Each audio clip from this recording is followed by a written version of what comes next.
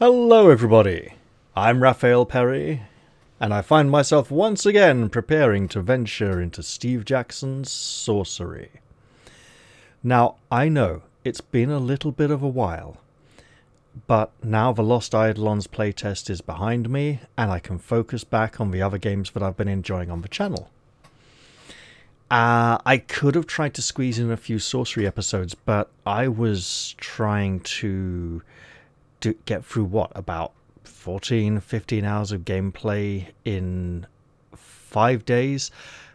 And i was actually trying to get through it in four because i was um, mistaken as to when the end date was. So so yeah i did okay um, but let's get back to this. Now first off i see the edge of the timescape flickering here and it's moving around a lot. I hope the Great Chasm will be here both in both timelines. I'm seeing these pillars fall and rise once again.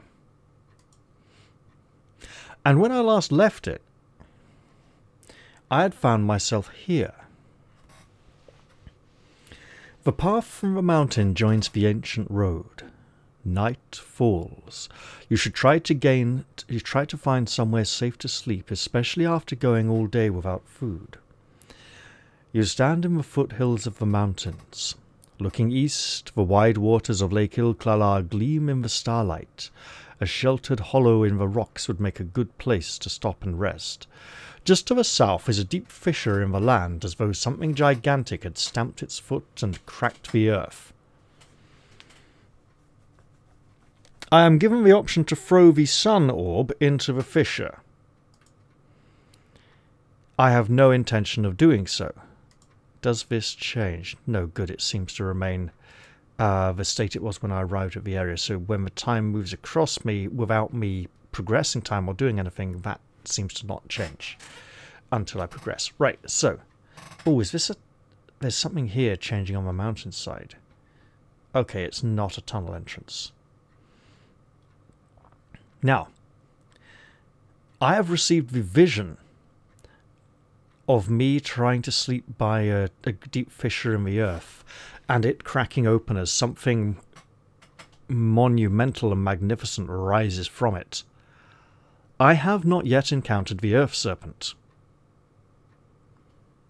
Furthermore, if I toss the crystal ball containing the sun serpent into the chasm, the crystal or glass of a bull will shatter.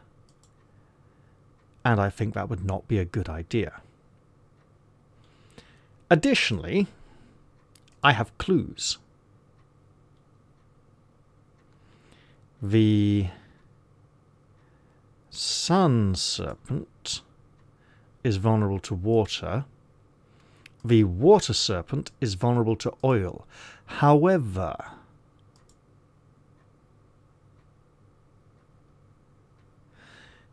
I am also aware that the sun serpent and the water serpent yearn for one another, a deadly combination, and that they will be each other's destruction. I would like to try and keep the sun orb until I encounter the water serpent and hopefully toss it into its mouth or something. And then they can destroy one another. Also, that would happen in Lake Ilklala, which is full of water, and I would be releasing the water serpent the Sun Serpent into the water. Perhaps then he'd thrash around boiling and being extinguished, and the Water Serpent would rush to his aid, desperate to be with him, and seal her own doom. Or maybe the Sun Serpent's female the Water Serpent's male. I don't mind. It's, it's the, the imagery, okay? You know, maybe they won't rush together. Perhaps one will be in, in great need of help and the other will. But yes, that's the way I'm seeing it. Now, I also have the um I should have the scroll, shouldn't I? The scroll message. Um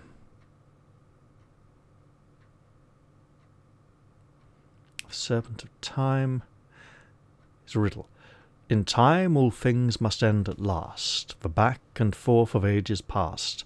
Time's great light will cast a pall, two times too many time will fall.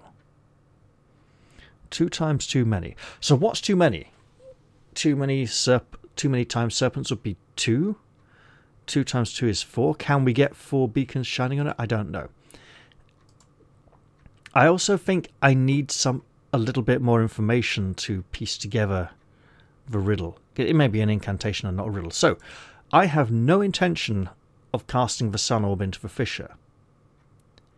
I have not yet encountered the earth serpent, and if it's going to come rising up from this fissure when I sleep, yes, that could have been the sun serpent rising up, but there was no mention of light, then I would like to be here to deal with it.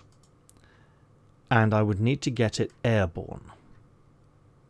Hence my Galehorn and casting Huff, um, levitation spell, other stuff. Yeah. So I could rise up and maybe tempt it up from the ground. I don't know. There are spells I can cast here many of which I imagine. So, I got big to make myself bigger. I could climb down into the chasm and, and lower the orb gently. I could float down the chasm. How? Um.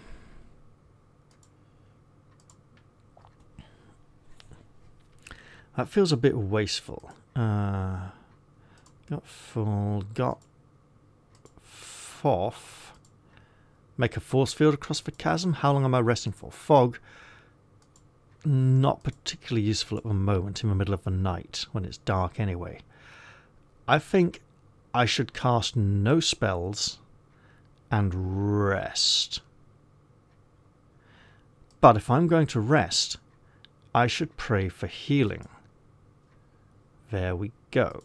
I should have probably done that after resting, but if I'm liable to have a dangerous encounter in the night, I want to be in good form.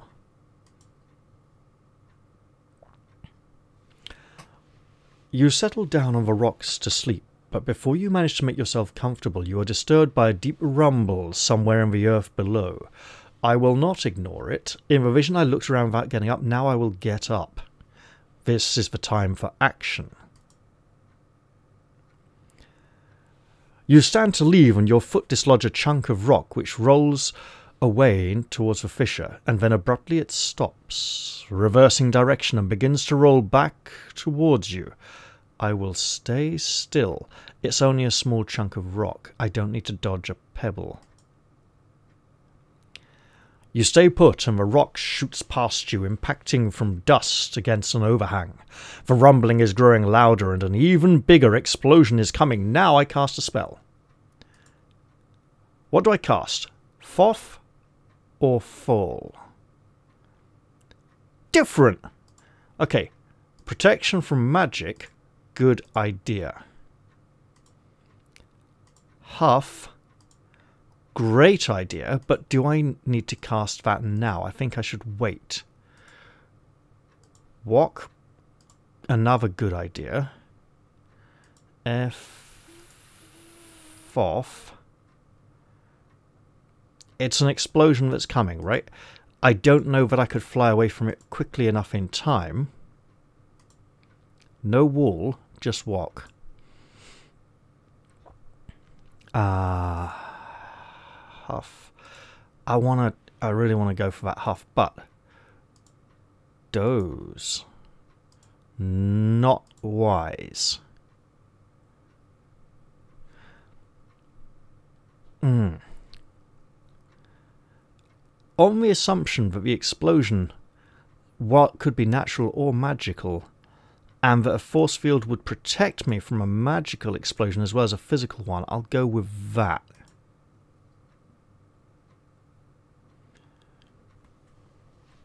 You cast the spell, forming a shimmering force field around your body. You should be protected from all but the most serious injury now. Just in time. The rock surface explodes and you are showered with falling stones. Bring the earth serpent to me. Oh, ha! They bounce harmlessly off your force field, but you are knocked off your feet all the same. The ground opens up directly where you fall, forming the shape of a freshly dug grave.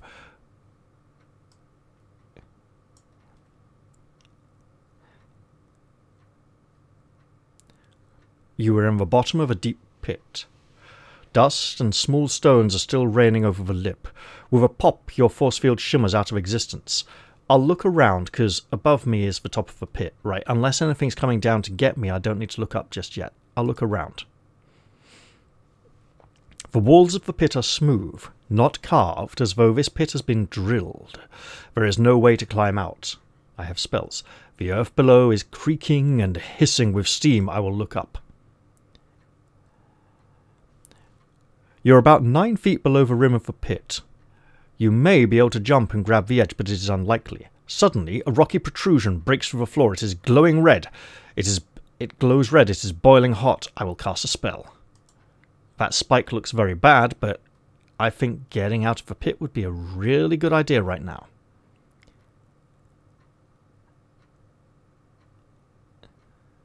Zen. Fall would do one thing, but Zen much better. You weave the enchantment, and the medallion begins to glow as you rise gently up into the air, and I will float out of the pit. You float up out of the pit, which fills with burning hot rocks and lava just as you escape. And now, will something rise from the chasm? You're out of the pit, but the danger is by no means past. Cracks are radiating across the ground. One opens between your feet.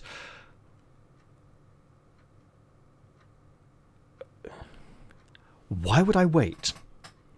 I have my Zen spell still active, right? So... But I think I should jump clear.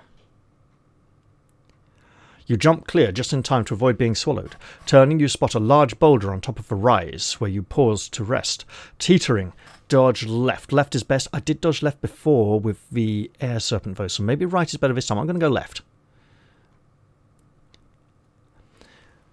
You prepare to dodge, but find something is holding your leg. A small green snake has wrapped itself around your ankle and is attempting to bite. Awesome, Earth Serpent. Um, shake it off, run it through. I don't think it's going to be particularly weak in this form, and if I attempt to run it through, it will transform and reveal itself, so I'm going to try shake it off. You kick the snake away. The boulder is teetering more violently now. Run up towards the boulder not directly at it to get ro- yeah, that was bad. you race up to the boulder, intending to push it in the other direction from where you stand, or rather just like off to the side. But as you heave on it, you stagger forwards into a crack in the ground that snaps shut on your leg. You howl in pain. Cast a spell. Cast a flipping spell. I think big. Big, big. Big time. I mean, summon a giant would be great if I had a giant's tooth, which I don't have anymore. I wasted it early on.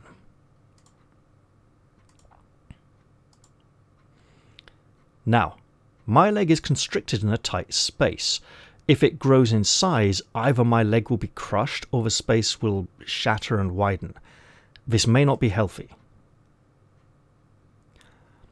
Consulting the constellations overhead, you bind the spell, inflating to more than twice your usual height, but it does not free you, only makes the crushing pain in your leg worse. Yeah, I'll pull my. Oh, could I push the boulder away?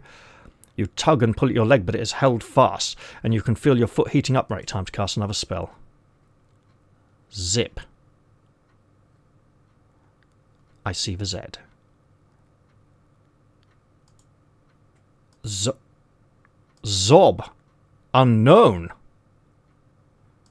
One moment.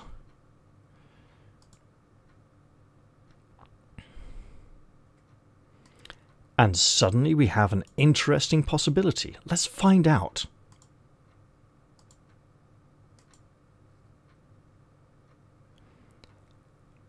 You try to bind the enchantment, but you're missing an item that it needs, and so the spell dissipates around you. Okay, fine, cast another spell.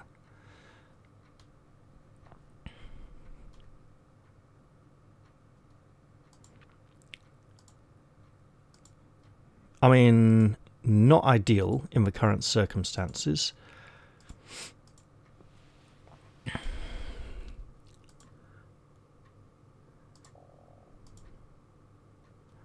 Do I feel that this is magic? Magical fire? No, I think it's like lava. Um, big again would be bad. So, Foff? No. Fog? No. These are bad.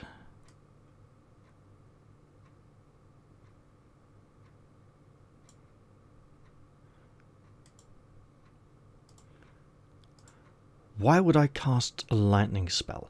At the ground to crack it open to free my leg? Maybe. Um,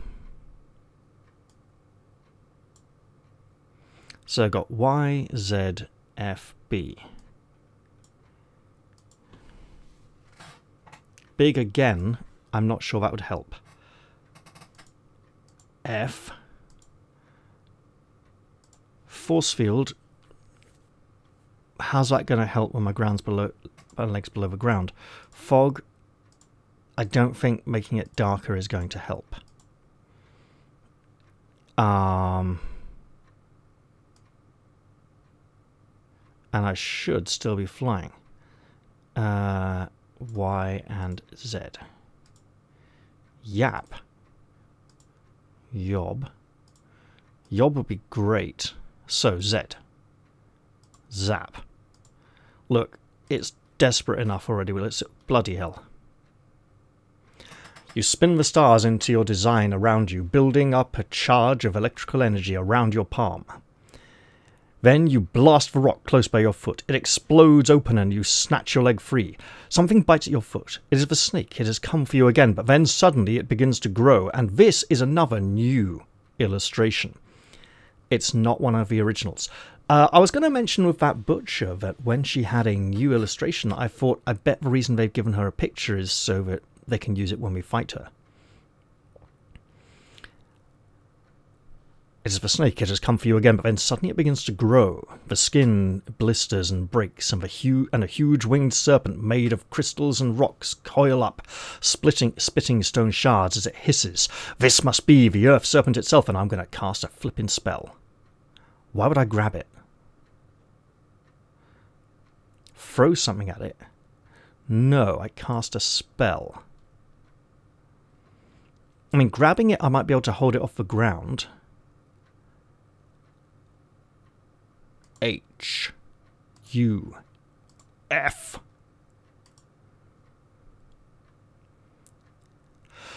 You craft the spell, placing your gale horn to your lips and play a clear tune. A powerful wind is summoned, striking the wings of the snake and lifting it up into the air. The serpent roars and hisses, but once off the ground, everything changes. The earth settles, and the serpent itself shrinks once more to the size of a normal snake, and I will absolutely murder it. You catch the creature's throat in one fist and throttle the life from it. It rattles, gasps, and then hangs limp from your fist like old rope. But the earth below is still. You have now defeated five of the seven serpents. Well, technically four, because I've still got the sun serpent in a crystal ball or glass ball. Your weight returns, and you settle gradually back down on the ground. So now my flying spell has worn off, which means I shouldn't have had my leg trapped, realistically. Gradually, you shrink back down to your normal size. The rocks around are smooth and unbroken. The whole thing might have been a dream, but for the piles of stone dust that cover the ground. Well, I'll gather some of those because they're spell components. You gather up the stone dust into your pack. Time to resume your journey. Only two more serpents remain at large the water serpent, which I intend to defeat with the power of the sun serpent, and the Time Serpent, which I have yet to find a good way of defeating. Can, can I just rest now? Go back up here. I need to find myself a good resting spot. Right, so here we are. You follow the old road. More stars come out. You are following the ruined line of an ancient road. I'll look into the darkness. You pause to look either side into the darkness. To the east, a little shrine indicates the start of the waters of Lake Ilklala that you must cross to reach the Zanzunu peaks. To the south, you are hemmed in by darkness. From somewhere overheard, not overhead, something shrieks. Yeah, I probably shouldn't rest here. I'll, I'll keep on going. I'm going to be so cacked in. Looking northwards, you can see the northern reaches of the Zanzunu peaks. Somewhere there lies the ruins of the ancient city of Tin Pang, once filled with the Archmage's most devout followers. And when I get there, it may be a ruin no longer, because there's a beacon tower.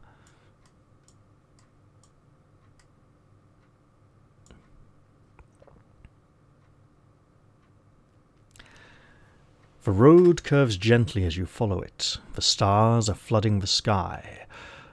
A little dust blows across the surface of the ancient road.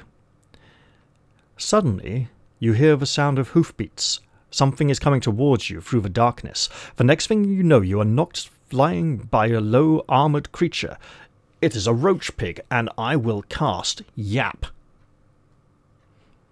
I've met.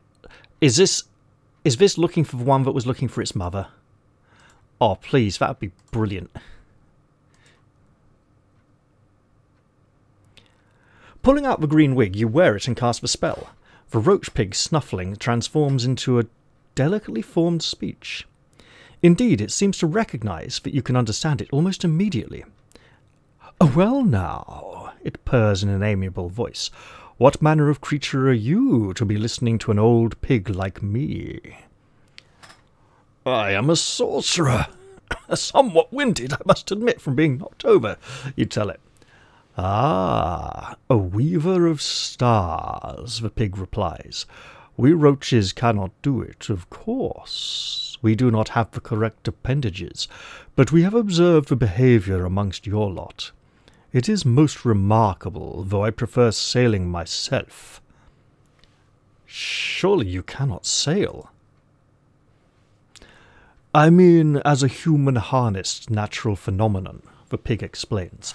The marriage of wind and water resistance provides for sailing, despite it being a most unlikely combination. That's rather pleasing to an old pig like me. Do you play swindle stones? I mean, I doubt you can even roll the dice. Um, what can you tell me of the Seven Serpents? you asked, not expecting to learn much. Well, there's one in the fissure near the lake, the pig replies casually. Oh, well, there's one in the fissure by the near the lake, the pig replies casually. You must have come that way, so perhaps you've already met him. A horrible thing. Otherwise, none in Tin Pang, that I know of. But the lake is teeming with them. The water, the islands, they're everywhere. Which serpents are in the lake? You ask. The pig beats its lower jaw against the ground in a gesture your spell is unable to translate. Buh, buh, buh. My apologies. They did not stop to give me their names. Ah. How is life as a pig? You ask, somewhat intrigued. The pig seems to smile. Quite fascinating, he answers. We are naturally curious types, and since we cannot write or do as you can, he gestures with his trotters as he speaks, we must observe and think instead. The pig thoughtfully cleans on trotter with its tongue. Cleans one trotter with its tongue? How do I cross the lake? I don't think he can tell me much about Mampang. I don't know where he's travelled to. How do I cross the lake, you ask? The pig shrugs. I would sail, he replies firmly. Though, of course, you need a sailing boat for that. You can feel the spell beginning to fade. I'll bid the pig farewell. I'm not going to draw my sword. You take a moment to say goodbye to the pig. The creature bobs its head at you and then stumbles away down the road. You let it go. Now I think I'm going to rest. I could walk on before the night gets too desperate. This is no kind of place to rest, but the day has been long. You sit down, trying to repress a shudder. The ghosts of ancient cartwheels seem to run through you. They are ancient. I will try to sleep and hope I don't die. I've had one dangerous encounter. Hopefully that'll be all I have to put up with. You stretch out and try to sleep, ignoring the echoing wind that seems to carry fragments of voices past you. You have eaten nothing today, but there is nothing you can do to abate your hunger. Just close my eyes and try not to die. You close your eyes and let your tiredness overtake you. The long night is filled with vivid dreams. Once more you are falling into a pit of burning rocks, but every time you land, it is only for the stones to melt and you tumble further down. Mocking laughter seems to ring in your ears. You've lost a little gold, just one coin, reached Lake Ilklala, walked on the ancient Baklands Bridge, and you collected the Sun Serpent and the Earth Serpent, meaning there are two serpents still out there. I didn't collect the Earth Serpent, I defeated the Earth Serpent. Thank you very much. You wake. You have not been run over in the night. The road is just as it was. You continue on your journey towards Tin Pang, of course.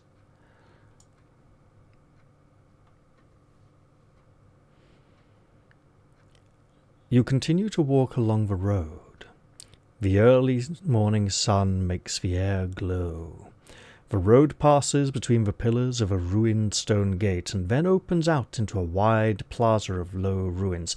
I'm immediately reminded of one of the Golden Dragon game books, but I'll just carry on. I'll look at the gates. Wait. Look upon my works, ye mighty, and despair. The pillars were maybe once carved. One is set with what looks like a jaguar, the other some kind of winged goat.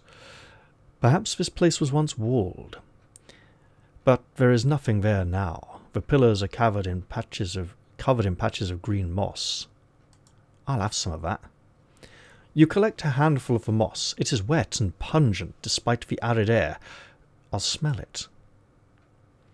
You put your nose into the moss and smell, but are, and are all but overwhelmed by the tangy, rank aroma of cat urine. How desperate am I here? Really desperate. Yeah. You pop the moss into your mouth and chew. A moment later, you are gagging and choking. This moss is foul and disgusting, with a flavour like rotting meat. You, you spit the moss on the ground. Ah. Ah, ah, foul. Uh, look at the ruins. Door frames jut from the unforgiving sands. Windows stare like dead eyes from buildings moulded into the rising cliff itself. This place must have been magnificent once, but now even the spectres must have been shredded by the wind. The silent city echoes to the sound of your footsteps on the road. You are aware you are headed away from Xamen and not towards it, but perhaps the ruins of this place will have something to aid you. Food, spell components, food, anything edible, beacon, find people, get food, buy food. We have gold, just no food. You follow the outline of a street into the first of several open plazas. It seems this was once a city hewn in vertical layers into the northern cliff face itself. Now it is as though a great clawed creature has stre- scratched it from existence. A few dwellings remain, but most are broken piles. Only one structure remains standing, a tower that rises somewhere to the west. The air stirs a little, still cold but fresh, the foul flavour of the moss from the gate has still not quite left your mouth. I shall explore the ruins before I restore them to their former glory. Oh, bugger, I'm going to regret that, aren't I? the ruins of the city are quite extensive. Whatever happened here, it scooped away great sections of the city as though the streets were raked by gigantic claws. The grandest houses are those near the cliff face. Further from the slope, the dwellings become smaller and less remains. A few clouds race across the sky. Okay. I've already been moved to the middle.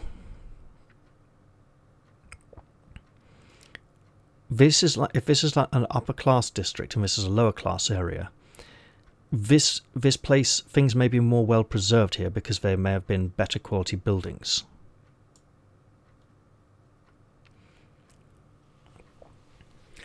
You head upwards towards the cliff face, jumping over cracks in the ground and then clambering over the roof of one building into the gaping doorway of the next.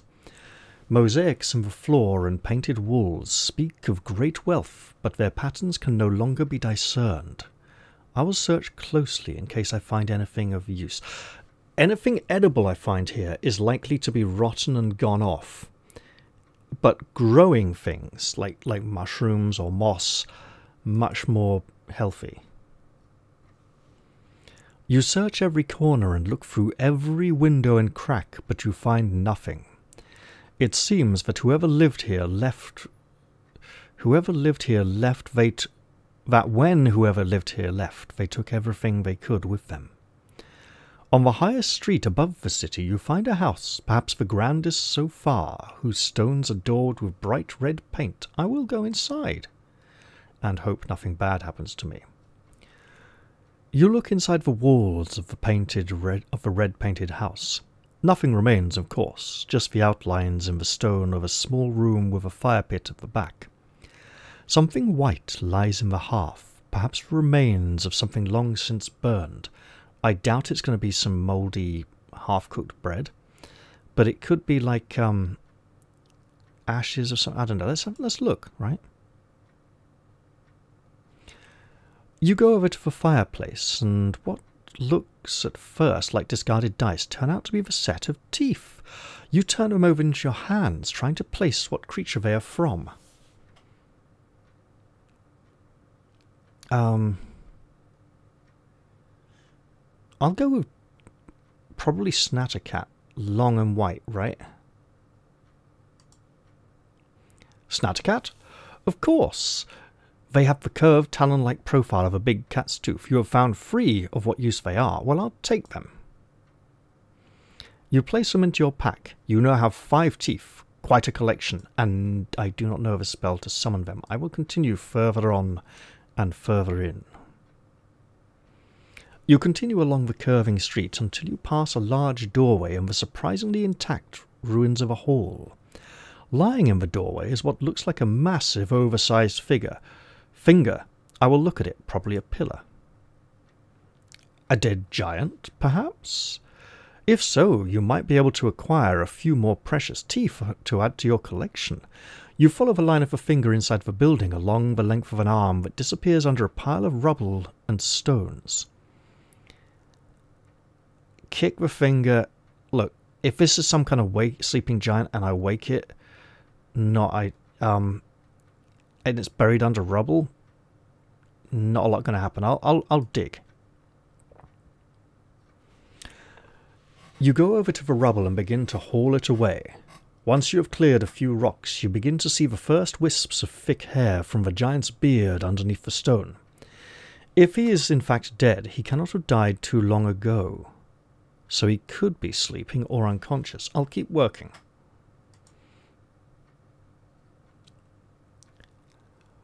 You keep working, removing stones with an aim to reach the giant's lower jaw, but after removing a flat stab of stone from across his mouth, you are struck by a hot, wet blasts of breath. The giant is not dead after all. He is sleeping.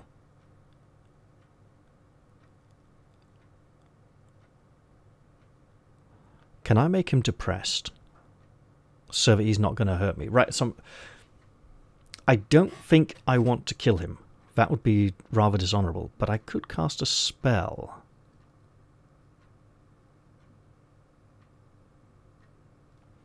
Huh. Sharpen up my sword. no. Rock. Turn him to stone. That wouldn't help for his teeth. And why should I kill this giant? I could make myself big so he thinks I'm a giant. I don't think I'd be quite his size, but how would that help? Wall. Invisible wall, yeah. Uh, walk. So this is mostly all combat spells, right? And I'm very badly hurt. Um, I could float in the air. I don't... Wait, yes. Then I could sneak away much more quietly and not wake him up, right? Oh shit, that that didn't work. Right, okay, fine. Can, can I die now, please? Um, you cast a spell lightening your body weight to a mere fraction of normal, but your spell casting is clearly agitating the creature.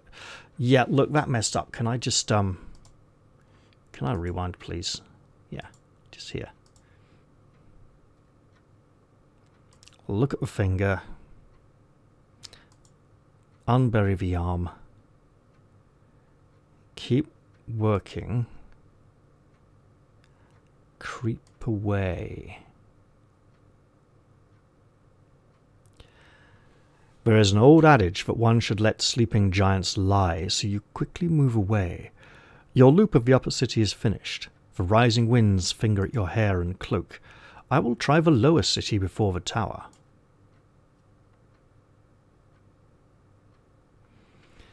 You walk through the ruins of the buildings that spread across the floor of the valley.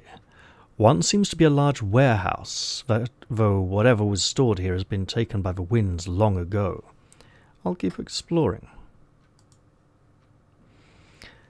You pick your way over a low wall and through the shattered outline of a family home.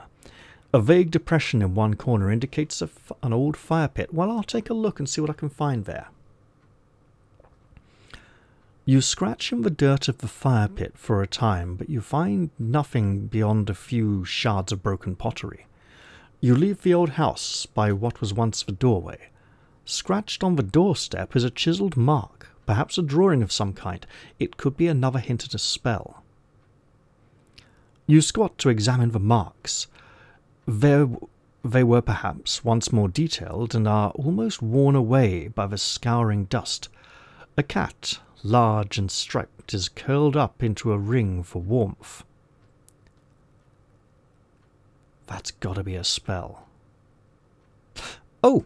Oh! Oh, yap? Do, do they mean a literal cat? I thought that was the carving. Hot and how? Not right now. D yeah, you give me the D, but nothing else of the word. Sus. No. I want to understand this old carving. Um. Got F. Ah, okay, yeah.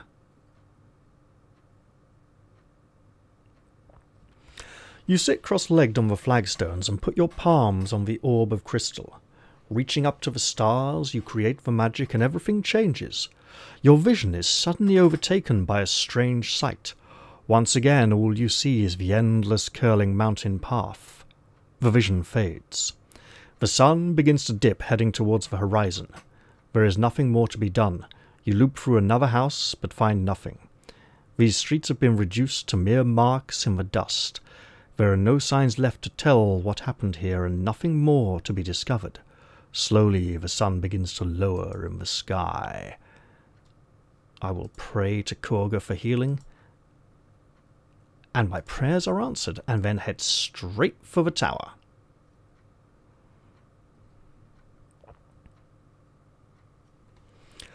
You follow the line of a broken structure until you reach the base of the tower.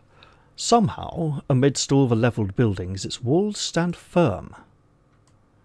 Then into the tower I shall venture. The door opens easily.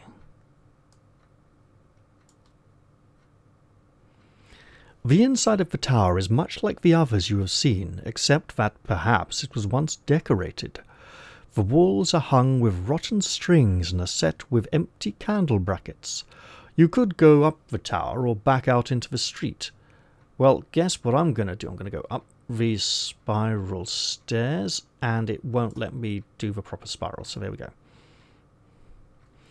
This tower also has a brass cylinder set into its centre with a glowing crystal at its heart. From here, the plan of the old city is quite clear winding streets and blocks leading towards and then up the cliff face. Though it has all been scrubbed clear, the stain of human of the stain of human habitation still remains. I see no of. I'll look at the view. Looking out across the city, it seems you can see two time periods at once. one fitting on top of the other, but it is impossible to tell which is true and which is the mask. You watch a, tri- a child running down a street only to turn the corner and disappear.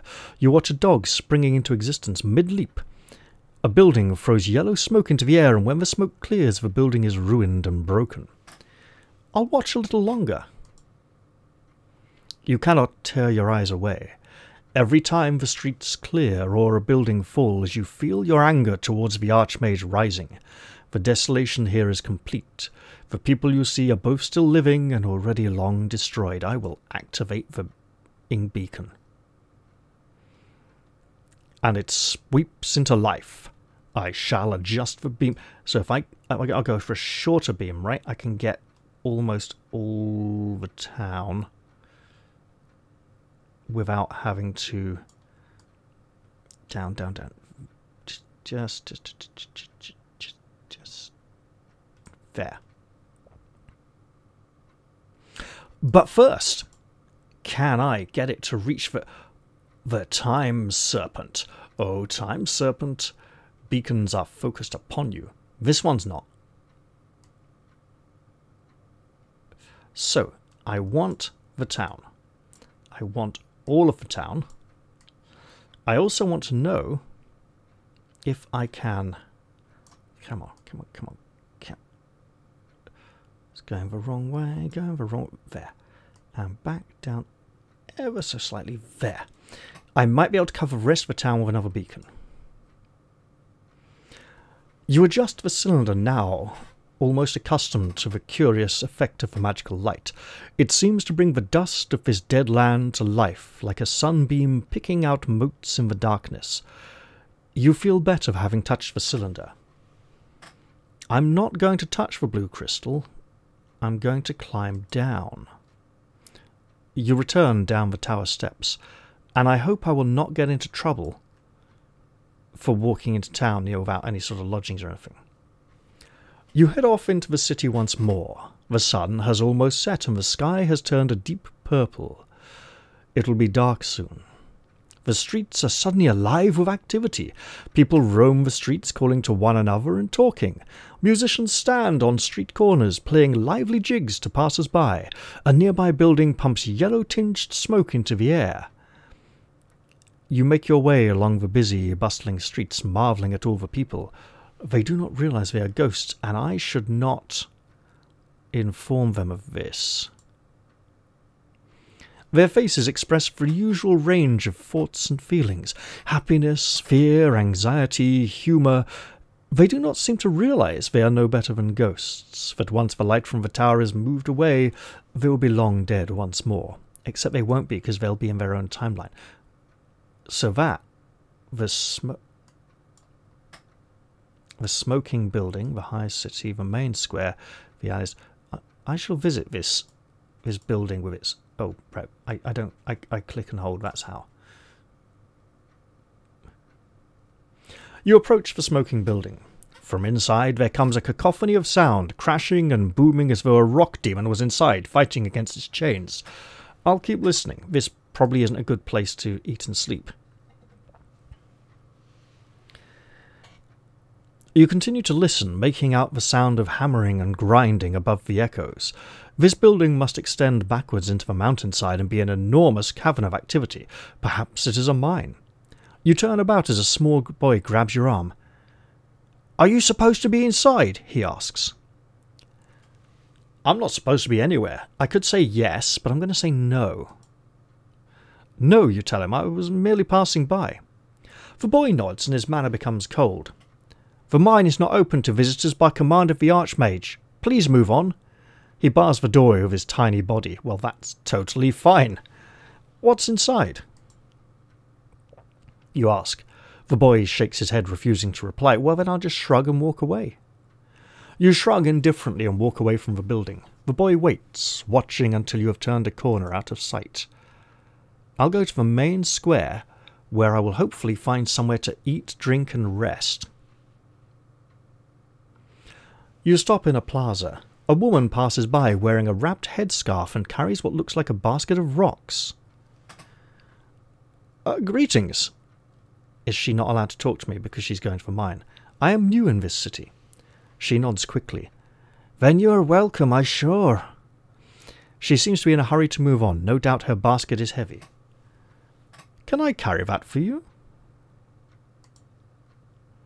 You ask. Most assuredly not, she exclaims. I would not be doing my work if I gave it away.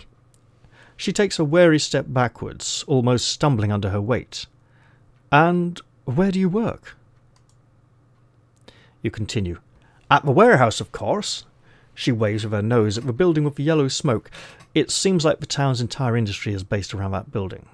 Uh, what work do you do? You continue. I carry things, she answers briskly. I carry things. She pulls her scarf tighter. Forgive me, but I must do my work. With that, she carries away down the street and disappears. Do I not get to, to rest? Or Fine. Be like that then. It's the middle of the night. I, I was only... They're working in the middle of the night. You take a turn down the narrower alleys of the city, picking your way between sleeping dogs and rubbish heaps, until suddenly a tiny hand catches out at your ankle. It's not Jann Minimite, is it? Knew you were there, see? groans a voice. Tell you more if you want. Who's there? You demand. No reason you should know me. You still cannot see the speaker, but the tiny hand seems to emerge from a pile of rotting vegetables. I'll look at the pile of rotting vegetables. You look more closely and spy two eyes between cabbage leaves and goat bones. I see, you see, I see you, the voice declares cheerfully. For one gold piece, I'll tell your fortune. How's that? You know what? Sure. You toss a gold piece into the pile of garbage, and the voice makes a noise that sounds like swallowing. Then all falls quiet.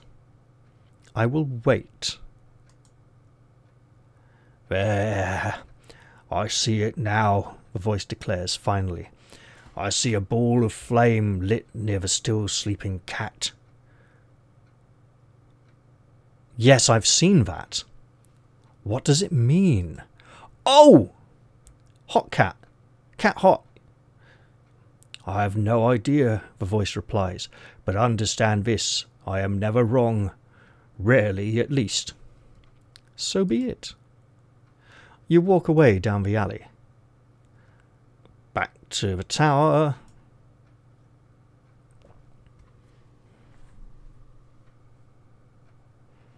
You return to the tower. As you walk, the buildings crumble, their walls caving in, sand pouring like water from doorways and filling the empty streets. One by one, the people turn corners and disappear.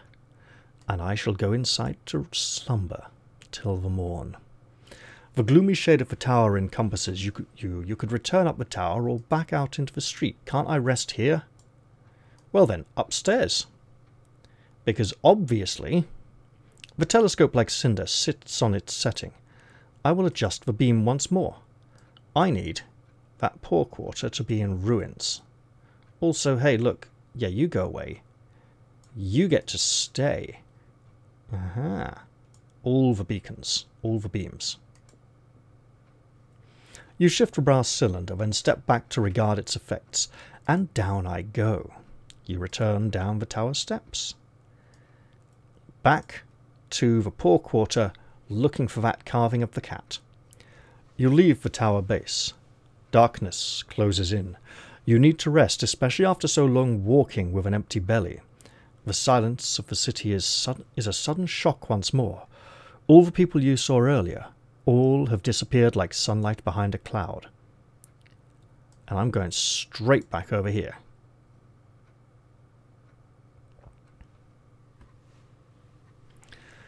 You find your way back to the house with the carving of the cat on its doorstep. It is a shattered wreck amongst shattered wrecks, more like an architect's sketch than a true building. I will hot it up. As long as I'm not, like, in the fireball.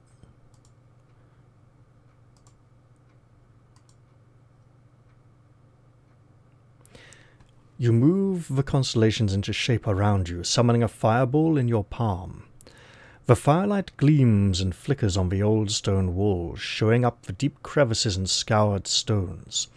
Every wall looks as though it was scraped by long, clawed nails.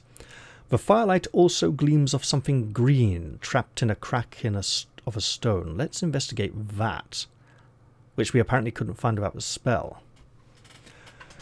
You go closer, pushing away the dirt with your fingertips to uncover a gold jewel jammed between two stones. The jewel of gold! Perhaps it fell there, here, or perhaps someone wished to hide it. I will dig it out.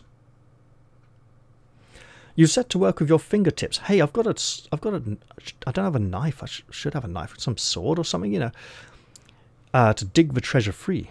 It's tiresome work, but eventually it comes loose. You cannot believe your eyes.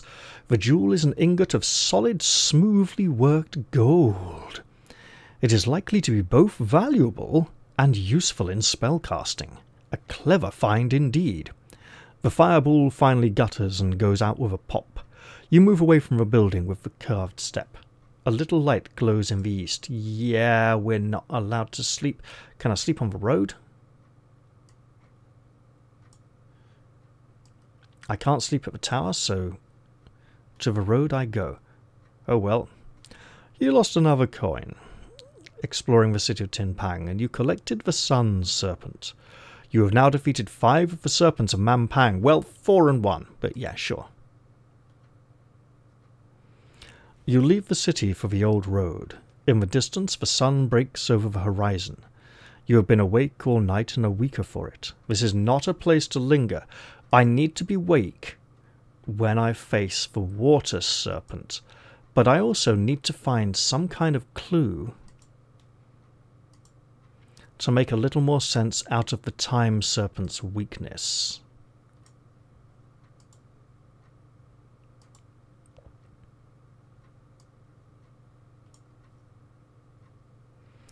And I really need food. Should I explore Tin Pang during the day? Probably, yes. The air moves a little, still icy but fresh. You move on. So, yes, I'm liking this idea. Hold on. I'm going to rewind that one. Just, just there.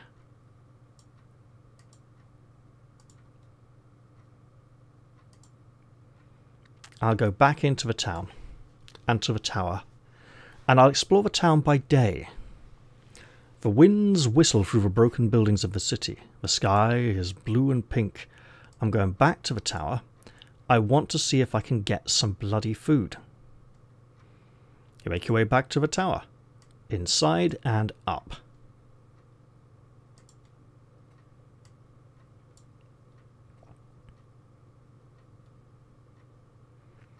I'll adjust for beam.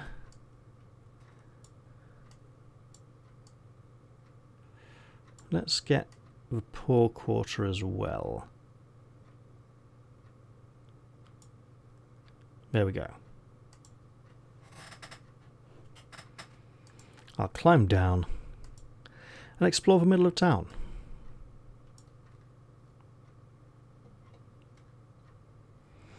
You head off into the city once more. As the morning, mo- morning moves on, the wind begins to rise. You walk the bustling half dazed by the streets, half dazed by the number of people. The factory chimney is still smoking. Can I, please? I can't. I can't. Just okay, fine. Just here then. You follow the winding, climbing, stepped streets into the upper reaches of the city. Low hovels and clustered dwellings are replaced by larger buildings, mansions, palaces, and central offices. You pass a familiar building daubed with red paint with two doors. Well, hey. Above one door is a sign with a picture of a fanged tooth. Can I sell them? Above the other is a metal implement that looks like a small pair of tongs. Uh, I don't want to get any teeth ripped out. I've got some Snattercat teeth. You open the door to find it leads into a wide hall, which the other door also opens onto. On a large chair at one end sits a, man with a tight fitting leather cap. On a low table at his elbow rest an array of metal implements. He stands as you enter. This could be some kind of horrible mistake. Greetings, declares the merchant. Are you here to buy or sell? A strange question, since there appears to be nothing on sale, unless the goods are all behind the curtain that covers the back wall. What is your trade? You ask, puzzled. He seems surprised. You didn't see the sign? You're a dentist? He winces. That is a nasty word for it, he declares stiffly. It's as though I called you a conjurer. He shuffles a few documents on a table, on a low table by his arm. But but do I take it, then, you are simply not in the market for teeth? What kinds do you sell? I have a few rarities in my possession today. A genuine firefox tooth, two snattercat teeth, and my prized possession, the tooth of a rock demon. Um... If I can find spells to summon a firefox and a rock demon, that'd be great. Rock demon's tooth's gonna be really expensive. I'll buy nothing. You close your pack and your money pouch. He shrugs, clearly having already marked you for not a big spender. I have something perhaps to sell, not my own. Excellent. He leans forward keenly. Your own teeth, or those of others? I have creatures' teeth to sell, not my own. I'm not even going to. He's already proved that he would buy my teeth if I sold them to him. I have creatures' teeth to sell, you tell him. And from what creature, he asks. An ape. Ape teeth? he laughs out loud. Well, now, very few people want an ape tooth, but those that do are quite obsessed with them. I believe they use them for cat burglary, but I'm not sure. I will give you 15 gold pieces for each one, or 60 for free. How many do I have? Um, I'll sell all free.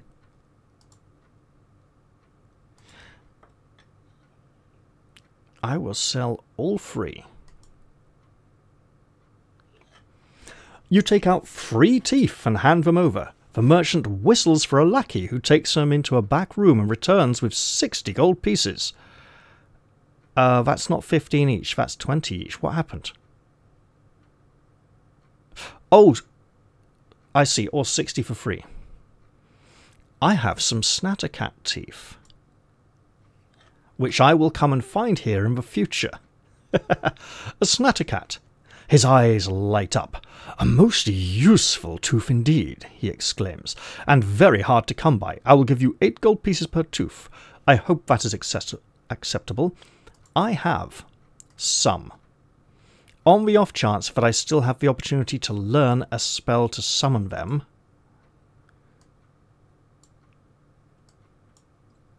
which is looking very unlikely at the moment, I have five Snattercat's teeth, I'll sell him two or three. And I am getting nothing, absolutely nothing to spend all this money on. I will sell two. You hand over the two teeth. The lackey returns to collect them, and you are paid sixteen gold pieces. And no more? he asks. No, that's that's enough for now. No. You close your pack. I have nothing more to offer. Cast a spell? No. Oh, speaking of which, now that I have the Jewel of Gold, what spell can I cast with it? I would love to buy a medicinal potion. Where can I buy one, please?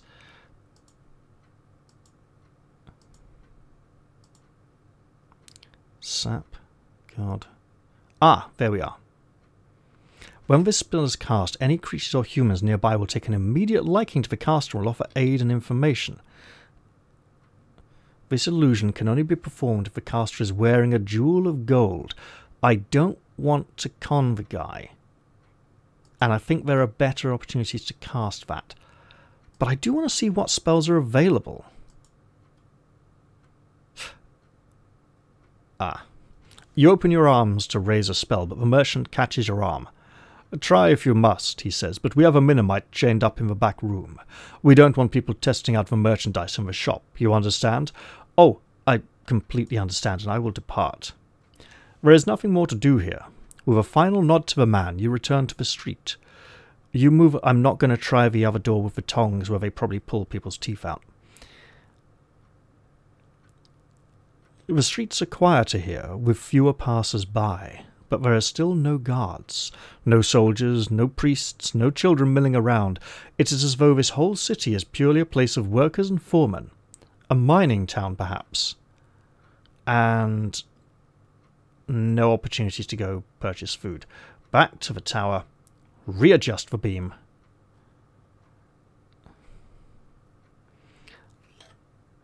And in I go obviously reminded of uh, the line from The Hobbit where Elrond speaking of. No, was it Bard? I think it's. No, not Elrond. Um, what's the name? The, the Elven King. I don't think it's Bard. I think it's the Elven King who ha- Thranduil, who doesn't have a name in The Hobbit. He gets his name in The Lord of the Rings. Uh, but speaking of Thorin and the mountain with all his piles of gold, he says, "Let him eat that, if he will." When they lay, when they're laying siege to the mountain. I, I am I am wealthy in coin, not in rations and provisions.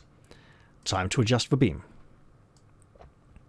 Do do do do do do do do do. That has got to be. I need to make sure that the water serpent isn't going to get obliterated by beams. Touch the blue crystal. One, two, three, four. I need to go here.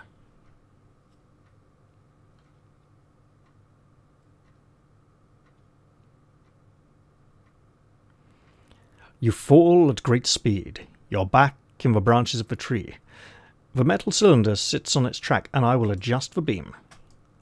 Now, I strongly suspect that focusing no less than four beacons including that one, on the Time Serpent, will not defeat it at all. And I will touch the crystal again and go across to here.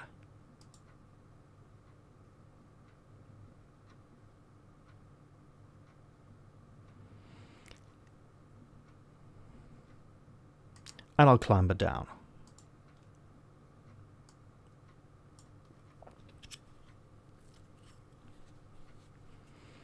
You leave the tower base. The evening is drawing in. Soon it will be dark. The streets are silent as the grave now, and I will head out of town. I shall also. If you thought I was going to say pray to Korga for healing, you were absolutely correct. We truly are a pilgrim. Time to move onwards. Well then. Can I can I sleep soon, game, please? The road curves gently as you follow it. Another night begins. You should find a place to sleep, especially after walking all day without eating. You march on. And now, this is not a safe place to rest because it's in the past where where wagon wheels are dangerous. You follow the old road. The moon oozes across the top of the sky like a drop of quicksilver. The cold wind moves between the cracked flagstones. You continue to walk despite the dark, and I go to here to rest. I could go to the lake shore, but that doesn't feel very safe. Oh, there's houses down there. The road curves gently as you follow it. The bottom of the road meets the path up into the mountains here. From the south, just to the south, is a deep fissure in the land. I will slumber here if I can. Laying your pack down on the flagstones, you try to settle despite the cold. You have not yet eaten today, but your pack is empty and you cannot satisfy your belly. You lie back and try to forget your troubles. You seem guarded here and you do not dream. I have recovered a significant amount of stamina, a whole 11 points, gained a huge amount of gold, 75, explored the city of Tanpa- Timpang, and you have collected the Sun Serpents. You have now defeated five of the Serpents of Mampang. Two more to go. You wake. The cold wind of the steppes has left your body stiff. It'll be good to start walking once more, and I feel that I shall walk into the very next episode. I'm going to leave this one here. I hope you've all enjoyed this one, possibly a bit longer than usual, and I will look forward to seeing you all in the very next episode. But I'm going to say goodbye for now, though, and cheerio, everyone. Thanks for watching.